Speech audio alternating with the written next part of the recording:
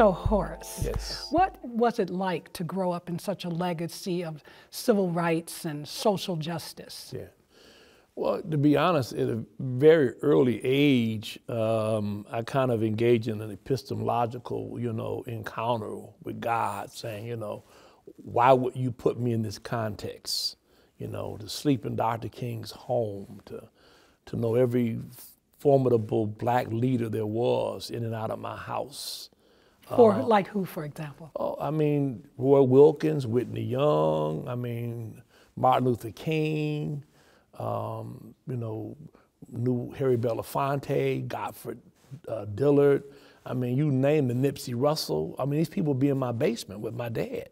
I mean, they were there because beyond whatever their professional commitment was, they were trying to make life better for other folks. I knew that God had placed me there to absorb as much as I could. You were there with the architects and designers. So, can you share a little bit about yeah, how? Well, you know, my dad started in the labor movement. So, he was vice president of the Negro American Labor Council in the 40s and 50s under A. Philip Randolph. Uh, Bayard Rustin was his compatriot the two of them staffed the March on Washington for Jobs in the War Industry. So it was not only civil rights, but it was the labor movement, and TULC was at the, the, the hub of that, which is where King and everyone came. My dad took me everywhere. Yolanda King, who was my dear friend, we had a theatrical company, um, Dr. King's daughter, they didn't get to go. They were afraid for their lives and harm, but my dad took me. I went to planning uh, meetings in 19, was maybe 62 uh, or maybe 64. Uh, we went to Baltimore, uh, Maryland for the Negro American Labor Council. Dr. King was at that convention, and while we were there, an African American was run over by a tractor in downtown Baltimore, integrating a skilled trade site. And so all of the people at the convention, all the black trade unionists from all the unions, maybe a thousand plus people plus folks in the community marched downtown to the site. And when we got there, Dr. King was only like five four, five five. He wasn't a tall fella, you know, at all. Um, they had a reef, and they wanted to hang this wreath on the fence.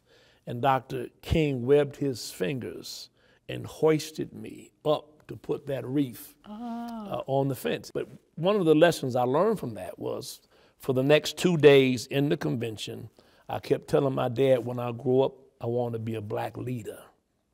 That, that's one of the, the most salient um, uh, experiences that I've had. And did your dad, like Dr. King and others, did he have a, a, a target on his back? Oh yeah. And and what and, and even knowing that, yeah and knowing what happens to certain leaders, you still wanted to lead. There was an incident when he and Charles Evers and Aaron Henry, who was president of Mississippi, in NAACP, where they actually surrounded by the Klan.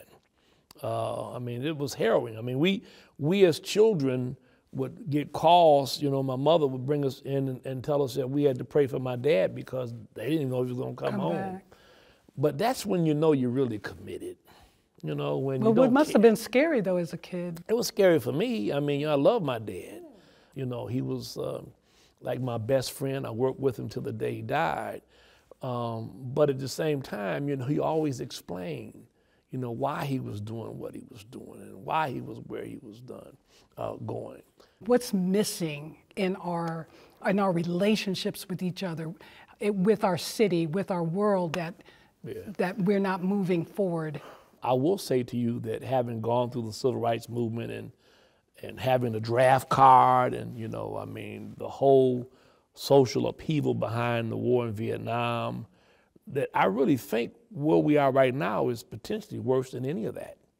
Look, we have people now who want to usurp the Constitution, care nothing about democracy, the principles and precepts upon which this government was founded, uh, just to maintain power because they know in 25 years, uh, you know, whites will be in the minority. Uh, and that's what frightens me because I think the closer we get to a multicultural society and one that recognizes that all people are really the same, the more dangerous it becomes and the more threatened they are. Uh, the positive note is if enough good people, if enough people of conscience, which is what Dr. King said, whites and blacks, gays and straights uh, come together and recognize that, you know, the principles and the precepts upon which this government was founded, liberty and justice for all, and actually embrace that. I'm encouraged that there's enough people uh, who feel differently. We just got to get them to act differently, and then we can rid ourselves of this curse. The vast majority of people I know want to live in harmony and peace with one another. They just don't want to be shut out and excluded and discriminated against based on sexual preference, color of their skin, zip codes they live in, or anything else. So, um, I mean, that's how I see it. And I may be wrong. Um, I always choose to see it as half full, not half empty. And I believe, uh, as Dr. King did, in the innate goodness of people. And I think we've got to appeal to that um, and, uh, you know, do the best we can to make it happen.